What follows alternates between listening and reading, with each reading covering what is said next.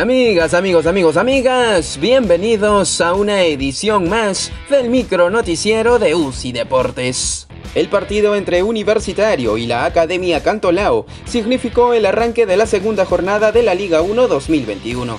Los Delfines se impusieron contundentemente 3 a 1 sobre los Cremas.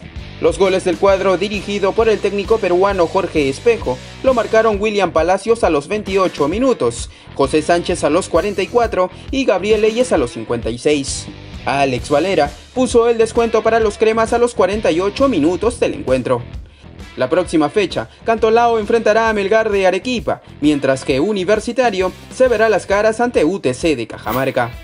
Por el grupo B, Sporting Cristal derrotó por la mínima diferencia a Sport Boys. El cotejo se disputó en el estadio Alejandro Villanueva.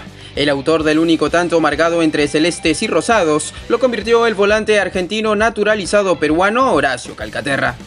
Ahora los chalacos enfrentarán a Deportivo Binacional por la jornada 3 y los bajopontinos por su parte rivalizarán contra Alianza Universidad de Huánuco. Alianza Lima recibió la designación oficial como club participante de la Liga 1 2021 luego de la reunión con los miembros de la Comisión Especial de la Federación Peruana de Fútbol que se realizó en la Videna.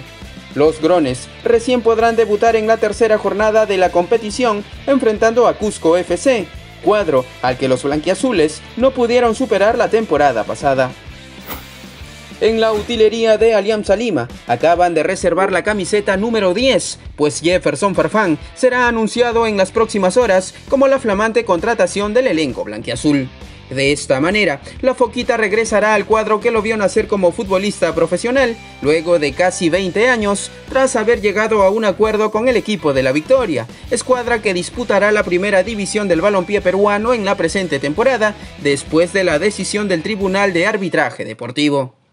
Si bien es cierto que el acuerdo entre Jefferson Farfán y la institución íntima es por un año, queda abierta la posibilidad de que el vínculo se extienda por un tiempo más. Todo dependerá de la decisión que ambas partes puedan tomar en los días finales de la Liga 1. Mientras más minutos suma con camiseta del Celta de Vigo, el volante peruano Renato Tapia incrementa su rendimiento con el equipo celeste en la competición española. Esto se ve reflejado en las cifras. El futbolista que ha sido convocado para enfrentar al Real Madrid en la Liga Santander este sábado 19 ha conseguido elevar su valor en el mercado, según una nota publicada por la página web Transfers Market, experta en fichajes en el mercado de pases, valores y otros temas relacionados en la actualidad.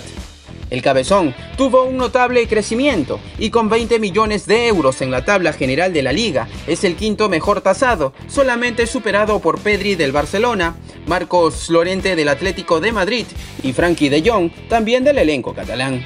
Vale agregar que el mediocampista es el futbolista latinoamericano más revalorizado, sin duda una de las revelaciones de la presente temporada.